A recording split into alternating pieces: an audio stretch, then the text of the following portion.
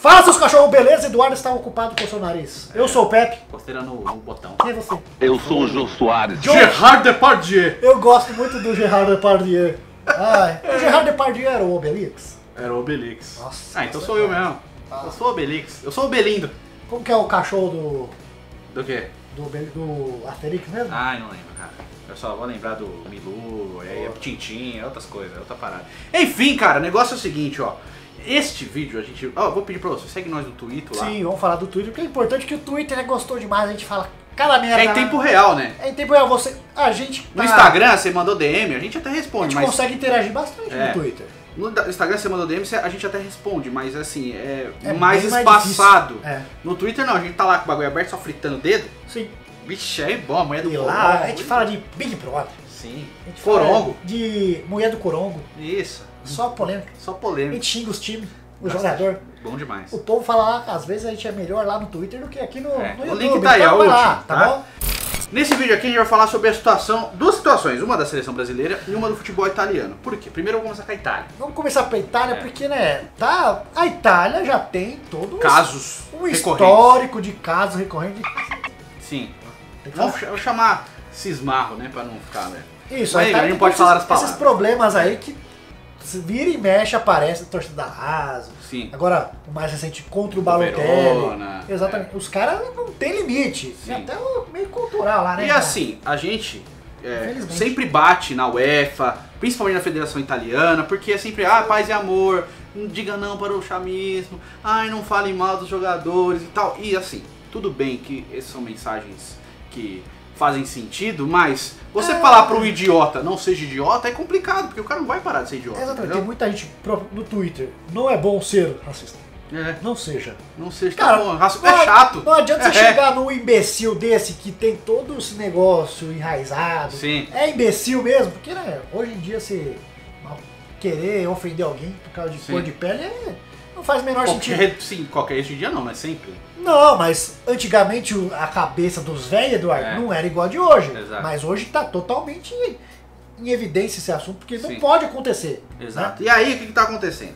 Aí, a gente sempre cobrando uma atitude da Federação Italiana, fazer alguma coisa, e eles resolveram finalmente tomar uma atitude que eu achei legal. É porque Tá. só aquelas faixas say no to racism não adianta nada. é. E a gente sempre bateu, porque também teve aqui o clube aqui em questão, o Elas Verona, Sim, foi punido, teve portões fechados, sim. mas logo depois a Federação Italiana falou, ah, Deixa quieto, vai lá, joga aí. deixa pra lá, não Torcida é- fechar não. A torcida é torcida. A torcida não pode ser punida por causa de 2, 3 ou 4 mil idiotas. É. Mas assim, o que aconteceu?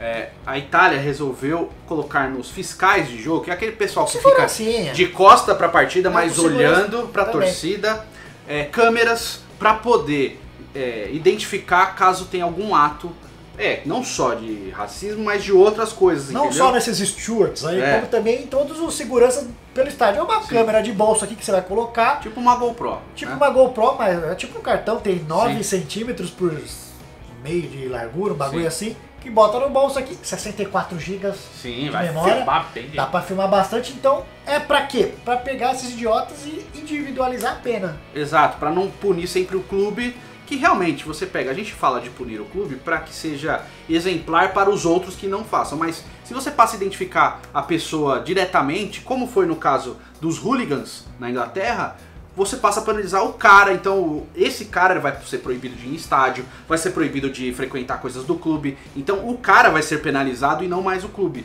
Acho uma coisa boa e você vai saber exatamente quem é a pessoa que tá fazendo merda. Isso. Então eu acho interessante esse tipo de atitude da Federação Italiana. Então vai ter o primeiro jogo de teste agora, que é do próprio Elas Verona, dessa vez contra a Juventus. É que eles testaram primeiramente o protótipo, não foi nem. Sim. O primeiro teste vai ser contra a Juventus, elas Verona e Juventus, mas o protótipo já foi testado contra o Leite. Ah tá, já teve Tá. uma partidinha. É, que esse vai ser o jogo, Esse vai ser a usar. estreia, tipo É. o chute inicial na Copa lá do, Sim. do robozão lá. É que agora todos os fiscais vão É. estar usando, né? Já testaram, viram que funciona o dispositivo e talvez esse dispositivo seja exportado para todos os outros campos da Itália que precisa, né? Isso. Mandar lá pra Lazio, quem sabe. E aí passa a ser em outros países, porque teve caso na Bulgária, teve caso em outros países da Europa, a seleção inglesa foi lá extremamente é, atacada os jogadores negros da seleção inglesa pela torcida bulgária, fazendo sinal de extremacia, é, supremacia branca do Sim. caramba, né? Sinal de fascismo e tal. Contra então o- tem que identificar. E, só que esses aí mostraram as caras, Contra né? o mal, com É. tudo lá, né, na Rússia. Também. Então vamos ver se Acho acontece. Torcer pra que É a aconteça. primeira grande coisa que eles colocam pra combater realmente, né? É. Que essas faixas.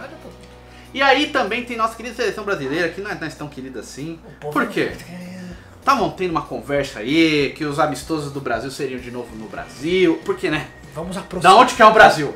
Da seleção brasileira é do Brasil. Mas como tem toda aquela cara, a gente já fez um vídeo só sobre isso, falando dos contratos da seleção brasileira. Que é Pitch que- Sports, né? É, que tem que jogar com os jogadores principais em, que estão disponíveis, né? Não dá pra ser o jogador que o técnico quer sempre, tem que ser os principais disponíveis e jogar nos estádios onde a pitch manda. Então, justamente por isso, o Brasil vai continuar jogando nos Estados Unidos. Ou seja, porque lá eu nunca vi. Porque falaram que ah, vieram jogar aqui. Embora a comunidade brasileira em Miami, na Flórida em si, Não me interessa. tem bastante brasileiro e tal. Mas você vê que o último jogo do Brasil no campo do Orlando lá não tava lotado. Sabe onde tem bastante brasileiro? Hum. No Brasil. Tem brasileiro pra caramba. Mas e, e assim, que, não é barato tá jogar aqui. É. O ingresso de jogo da seleção brasileira é sempre muito caro. Não é uma Ou seja, coisa. você quer aproximar a torcida do, do time, Sim. você traz pra jogar no Brasil, mas bota o ingresso lá na caixa do chapéu. Sim.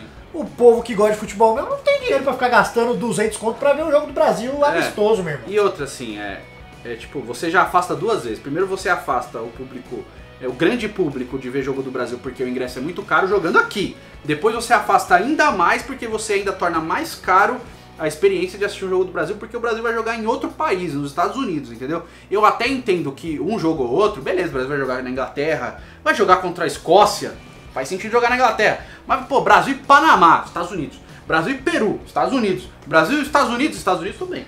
E pra- Brasil e México, Estados Unidos. E pra você ver como que esse número tá exagerado de jogos nos Estados Unidos, até o ano 2000, acho Sim. que jogou 24 vezes na história o Brasil jogou nos Estados Unidos. Sim. De 2000 pra cá já vai bater 26 jogos. Ou seja, de 2000 pra cá Só amistoso, né? jogou mais do que. É, exatamente. O Brasil só tá jogando no Brasil em torneios oficiais que é tipo a eliminatória, entendeu? Vai ter Copa América porque teve, foi aqui.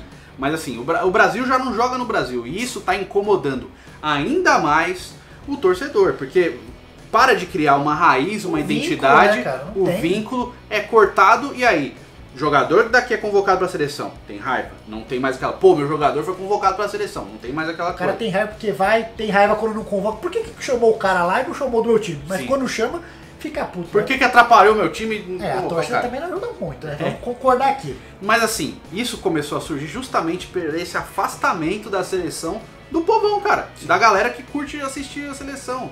Antes a gente vibrava que um, um jogador do nosso time ia defender a seleção e a gente vibrava que ia poder torcer pelo jogador do outro clube que a gente não torcia. Entendeu? Tipo, Era o legal. torcedor do Vasco vai ver a seleção brasileira e vai torcer pro Zico fazer gol. Mas o Zico é do Flamengo, mas tipo, vou torcer pro Zico fazer gol porque é a seleção brasileira, Hoje entendeu? até isso fica meio zoado, né? Porque o cara, tipo, Gabigol, Sim. vai pra seleção. O Vascaíno torce pro cara ir mal pra ele não ser convocado mais. É. Ou assim, eu nem convocado, tipo, vai É. machucar a seleção, entendeu? Torce contra. Antes não tinha muito essa coisa de. A gente vibrava pela seleção por ser a seleção do nosso país, mas. É, e não tô nem falando da parada de jogador que joga no Brasil ou jogador brasileiro que joga na Europa, porque pra mim isso já não tem diferença, mas é mais a coisa de proximidade e identificação que o torcedor brasileiro tá perdendo com a seleção brasileira. E por isso, e por mais que eu bata e o Rafael bata nessa parada, ai, não torce pra Argentina, ai, não torce pra sei o quê. Os caras vão começar a torcer pra outros países, cara. O cara vai torcer pra Polônia, vai torcer pra Alemanha, vai torcer pra Itália, vai torcer pra Portugal. Porque já, o Brasil já não joga aqui, vão torcer pro outro lá também que joga aqui. Essa notícia a gente viu no Globo Esporte e depois Sim. você vai nos comentários, é é só isso. Só paulada, velho. Essa é a seleção que só tem escrito o logo do Brasil no peito, mas não é mais seleção do Brasil, não joga aqui, meu irmão. E outra, só vem jogar quando é jogo que vale. Sim. Você imagina Ou jogo muito. Nem os jogos merda estão vindo pra cá mais. Não, mas aí você, fica, você já fica pistola justamente pro cara não vir. Quando você precisa do apoio pro jogo que vale, Aí o vem. cara já vai pistola, meu irmão. Pois já é. vai lá e não apoia tanto. E aí é quanto tem que 5 apoiar. minutos jogando mal e vai. E se não for 5x0, ninguém aceita. Exemplo, Brasil e Bolívia, abertura da Copa América. Foi 3 a 0 pro Brasil. Fim do primeiro tempo os caras estavam dormindo, que a gente filmou, Foi. tinha gente xingando. E, pô, cara, geralmente não é assim, você tem um pouquinho mais de paciência, mas como é a seleção, eles nunca estão aqui, o povo espeta, velho. Então, por isso. É, e aí não dá pra ficar culpando o Tite, cara. O Tite O Tite ficou em- pistola, ele É. falou que ele não Que ele queria que ele jogasse queria Brasil. que jogasse mais no Brasil. Ele Quem confirmou que vai ser fora é o Juninho Paulista. E também não dá pra culpar o Juninho. Ele é, cara, ele é o coordenador, não é o cara que vai lá, ó, a gente tem que jogar no Brasil, vamos jogar aqui. Tem que culpar quem fez o contrato com essa empresa que É, E também não é o caboclo, tá? né? Não é o, o presidente da CBF É, agora. Isso aí é foda, né? Isso é desde o Ricardo Teixeira, entendeu? Eu E é um contrato de 10 anos, a gente tem que ter paciência, aguentar até acabar essa merda aí. Eu acredito que é até E 2022. eu não né? entendo, por que, que jogando aqui, a renda vai ser quanto? E a renda aqui é alta, né? É, É alta pra caramba. e a CBF precisa de dinheiro assim? Meu Mas, Deus, ó, não vamos vai lá. mudar nada. Você encher o estádio do Palmeiras com 40 mil pessoas. Você só você vê a renda que dá o jogo do Palmeiras. Não, então, você- o jogo do Palmeiras dá 2 milhões e pouco, que é o preço alto, mas assim, é um ingresso mais barato que o da seleção brasileira. Sim. E você manda o jogo do Brasil em Miami pra jogar contra a Colômbia, É um milhão de dólares. dá um milhão de dólares. Entendeu? Se, tipo, dá pra equilibrar, cara. Dá pra ser uma coisa mais. Assim, eu sei que é Os caro. valores dá na mesma. Sou contra ser tão caro, porque o Brasil, a seleção brasileira, apesar de ser um produto É do povo, Eduardo. altamente rentável para a CBF, não é o que dá mais ganho para a CBF o tempo Sim. inteiro, entendeu? A CBF ganha muito dinheiro. Então, dá para rentabilizar de outras maneiras. Fora que a, CB a seleção brasileira é patrocinada pra caramba também, É. né? Então, por favor, eu quero saber a sua opinião, Rafael. E você, o que você acha? Eu acho que tem que acabar a seleção jogar fora do Brasil. É isso aí. Tem que jogar o Brasileirão junto com os outros times. Vamos jogar o Brasileirão na Espanha.